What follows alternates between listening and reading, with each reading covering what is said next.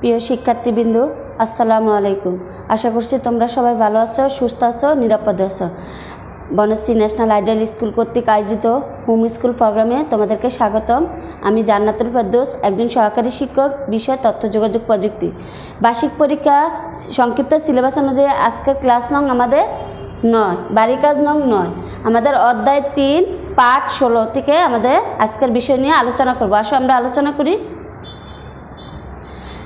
দেখো, আলোচ্য বিষয় হচ্ছে ক্ষতিকারক সফটওয়্যারের বর্ণনা। ক্ষতিকারক সফটওয়্যার কি? এটার বর্ণনা। দেখো, এর সাথে আমাদের যুক্ত আছে ম্যানুয়াল কি? ম্যানুয়াল কীভাবে কাজ করে বা ক্ষতি সাধন করে। এগুলো সম্পর্কে আজকে তোমাদের ক্লাসে বর্ণনা করা হবে। আসো, আমরা বর্ণনা করি। ক্ষতিকারক সফটওয়্যারটা কি? ক্ষতিকারক সফটওয়্যার হলো এক ধরনের প্রোগ্রামিং কোড বা প্রোগ্রাম, যা সাধারণত সফটওয়্যারের কাজে বিঘ্ন ঘটায়, বিভিন্ন হার্ডওয়্যার ইন্টারফেস বিনিষ্ট করে কিংবা কম্পিউটারের সম্পূর্ণ কর্মক্ষমতাকে বিনিষ্ট করে দেয়। ক্ষতিকারক সফটওয়্যার হচ্ছে কি? এক ধরনের প্রোগ্রামিং কোড বা প্রোগ্রাম, যা কম্পিউটারে সফটওয়্যারকে কি করে? কাজে বিঘ্ন ঘটায় মানে কাজের ক্ষতি করে এবং হার্ডওয়্যার ইন্টারফেস বিনিষ্ট করে দেয়। কম্পিউটারের সম্পূর্ণ কর্মক্ষমতাকে কি করে দেয়? বিনিষ্ট করে দেয়। কেন? ক্ষতিকারক সফটওয়্যার তো জানোই, ক্ষতিকারক সফটওয়্যারের কাজ হয়েছে কম্পিউটারের যে প্রয়োজনীয় কাজ আছে, এগুলোকে কি করবে? বিনিষ্ট করে দিব বা ক্ষতি করবে। কারণ এই ক্ষতি করে তারা তাদের জায়গা দখল করে নিবে। যেহেতু এই ধরনের প্রোগ্রামিং কোড বা প্রোগ্রামসমূহ কম্পিউটারের জন্য ক্ষতিকর, তাই এই ধরনের সফটওয়্যারকে বলা হয় ক্ষতিকর সফটওয়্যার বা মেলিসিয়াস সফটওয়্যার এই ধরনের সফটওয়্যারকে কি বলে? দেখো, আবার বলি, যেহেতু এই ধরনের প্রোগ্রামিং কোড বা প্রোগ্রামসমূহ কম্পিউটারের জন্য ক্ষতিকর, তাই এই ধরনের সফটওয়্যারকে বলা হয় ক্ষতিকর সফটওয়্যার বা মেলিসিয়াস সফটওয়্যার তোমাদের প্রশ্ন আসতে পারে, ক্ষতিকারক সফটওয়্যার কাকে বলে অথবা মেলিসিয়াস সফটওয়্যার কাকে বলে? তোমরা যেটাই আসো, তোমরা দুইটার একটার উত্তর দিলেই হবে। তাহলে দেখো, আর এই মেলিসিয়াস সফটওয়্যারকে সংক্ষেপে ম্যানুয়াল বলে। এই মেলিসিয়াস সফটওয়্যারকে সংক্ষেপে কী বলে? ম্যানুয়াল তাহলে আমরা অবশ্যই ম্যানুয়াল কি সেটা আমাদেরকে জানতে হবে। ম্যানুয়াল কি? ম্যানুয়াল হলো এক ধরনের সফটওয়্যার যা কিনা অন্য সফটওয়্যারকে কাঙ্ক্ষিত কর্ম সম্পাদনের বাধা সৃষ্টি করে। কাঙ্ক্ষিত মানে কি? তুমি যে প্রয়োজনীয় কাজ করো, এই কাজটাকে তোমাকে কি করবে? বাধা সৃষ্টি করবে। আর এই বাধা অপারেটিং সিস্টেম সফটওয়্যার বা অ্যাপ্লিকেশন সফটওয়্যার উভয়ের জন্যে কি হতে পারে।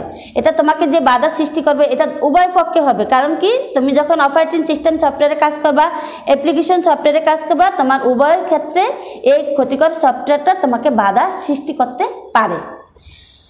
শুধু যে বাধা সৃষ্টি করে তা নয়, কোনো কোনো ম্যানুয়াল ব্যবহারকারী কম্পিউটারে রক্ষিত তথ্য চুরি করে কি?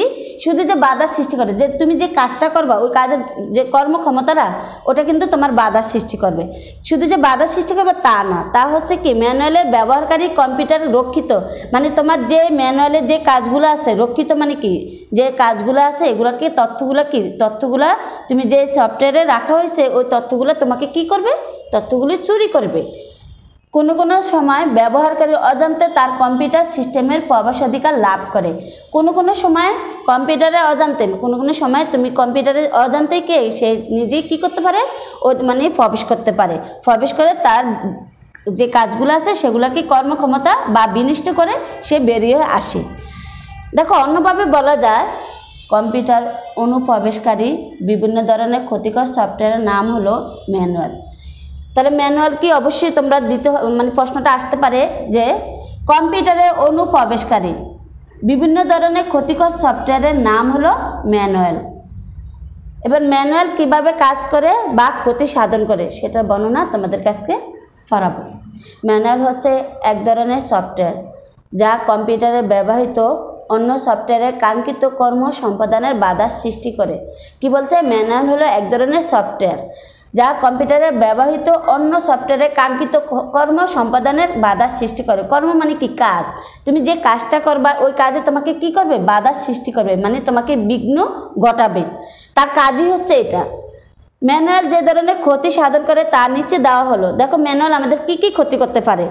এক নম্বরে, ম্যানুয়াল ব্যবহারকারী কম্পিউটারের রক্ষিত তথ্য চুরি করে। ম্যানুয়াল ব্যবহারকারী। যে আমাদের কম্পিউটার যে রক্ষিত মানে রক্ষিত কি তুমি যে জিনিসগুলো মানে ডাটাগুলো জমা রাখছো বা কোনো কাজ, তোমার প্রয়োজনীয় কাজগুলো সে আকারে রাখা হয়েছে, সে কাজগুলো তোমাকে কি করবে? চুরি করবে। ম্যানুয়ালের কাজই হচ্ছে এরা। মানে তোমার কাজগুলো সে বাধা বিঘ্ন ঘটাবে। দুই নম্বর স্টেপ ব্যবহারকারীর অজান্তে তার কম্পিউটারে প্রবেশাধিকার লাভ করে। ব্যবহারকারীর অজান্তে। ধরো আমি কম্পিউটারটা ব্যবহার করি, এখানে প্রয়োজনীয় যে কাজগুলো আমার আছে। এখন আমার অজান্তে সে কী করল? নিজেই প্রবেশ করল। প্রবেশ করে আমার কাজগুলোকে কি করল সে? বাধা বিঘ্ন ঘটায়। তিন নাম্বার স্টেপ কম্পিউটারের অন্তর্গত সিস্টেম ফাইল নষ্ট করে ফেলতে পারে। কম্পিউটারের অন্তর্গত, কম্পিউটারে যে তুমি কাজগুলো ফাইল আকারে রাখা হয়েছে, এই ফাইলগুলো তোমাকে কি করবে? নষ্ট করে ফেলবে। তোমার ফাইলগুলো সে তোমাকে ঠিক মতন রাখতে দিবে না। সে তার কাজই হচ্ছে নষ্ট করা। চার নাম্বার, ম্যানুয়াল ব্যবহারকারী কম্পিউটারে প্রোগ্রামিং কোড বা স্বকীয় তথ্য বা হিসাবে প্রকাশিত হতে পারে।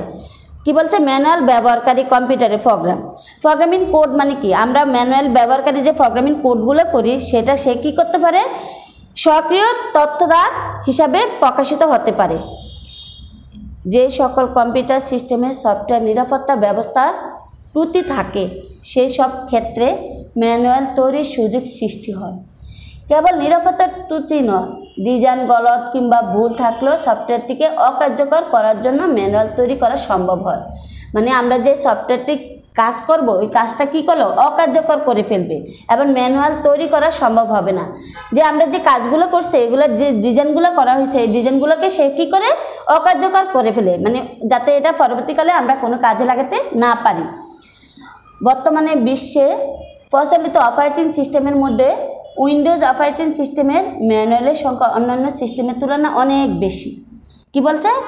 বর্তমানে দেখো, বর্তমানে বিশ্বে, এটা শুধু যে আমাদের সারা বাংলাদেশে তা না, এটা হচ্ছে সারা বিশ্বে। বর্তমানে বিশ্বে প্রচলিত অপারেটিং সিস্টেমের মধ্যে, অপারেটিং সিস্টেমের মধ্যে কি? Windows operating system. ম্যানুয়ালের সংখ্যা অন্যান্য সিস্টেমের তুলনায় অনেক বেশি। ইন্টারনেট বিকাশের আগে ম্যানুয়ালের সংখ্যা খুবই কম ছিল। আমাদের যখন ইন্টারনেট ছিল না, তখন আমরা ম্যানুয়াল আমাদের কি, কোনো ক্ষতি করতে পারেনি। কিন্তু ইন্টারনেট আবিষ্কার হওয়ার ফলে আমাদের ভাইরাসের সংখ্যা আবিষ্কার হওয়ার পরে আমাদের ভাইরাস, আমাদের যে প্রয়োজনীয় ফাইলগুলো, যে কাজগুলো ছিল, ওগুলোকে বিনিষ্ট করে সে কী করে, তছনছ করে বেরিয়ে আসে। এটা শুধু আমাদের ইন্টারনেটের কারণেই সরিয়ে, সরিয়েছিল। যে যখন থেকে ইন্টারনেটের মাধ্যমে ম্যানুয়ালকে সরিয়ে দেওয়া সম্ভব হচ্ছে, তখন থেকে ম্যানুয়ালের সংখ্যা বৃদ্ধি পাচ্ছে। যখন থেকে আমাদের ইন্টারনেটের সংখ্যা কি ধীরে ধীরে বৃদ্ধি পাচ্ছে। যেন এখন আমরা ঘরে বসে সবাই, সারা বিশ্বের মানুষ কি করে ইন্টারনেট ব্যবহার করি? এখন ইন্টারনেট যেহেতু আমাদের সারা বিশ্বে সরিয়ে চিঠি আছে, তখন ইন্টারনেটের ব্যবহার সবাই কম বেশি কি করে? ব্যবহার করছে। তখনই আমাদের ম্যানুয়ালের সংখ্যা দিন দিন বৃদ্ধি পাচ্ছে। প্রিয় শিক্ষার্থীরা, আমরা আজকে যে টপিক্সটা পড়ানো হয়েছে, এটা তোমাদের বার্ষিক পরীক্ষার সিলেবাস অনুযায়ী, সংক্ষিপ্ত সিলেবাস অনুযায়ী টপিক্স এই টপিক্সের উপর দেখো বাড়ি কাজ দেওয়া হলো যে ম্যানুয়াল কি? ম্যানুয়াল কীভাবে কাজ করে ব্যাখ্যা করো। তোমরা সুন্দর করে এই প্রশ্নটি প্রতি রবিবারে স্ব ভবনে জমা দিবা এবং নেক্সট রবিবার এসে এই বাড়ি কাজের খাতাগুলি নিয়ে যাবে। এই বাড়ি কাজের উপর তোমাদের সিটি এবং ডায়েরি নম্বর দেওয়া হবে। আশা করি তোমরা গুরুত্ব সহকারে এই বাড়ি কাজটি জমা দেবা। এই বাড়ি কাজের পৃষ্ঠা নম্বর হচ্ছে তৃতীয় অধ্যায় পাঁচ ষোলো, পৃষ্ঠা নম্বর সাঁত্রিশ থেকে আটত্রিশ। আশা করি তোমরা গুরুত্ব সহকারে এই টপিকটি পড়বা এবং এই টপিক্সের উপর বাড়ি কাজটি গুরুত্ব সহকারে জমা দিবা। এখানেই শেষ। আবার কোনো টপিক্স নিয়ে হাজির হব। আল্লাহ হাফিজ।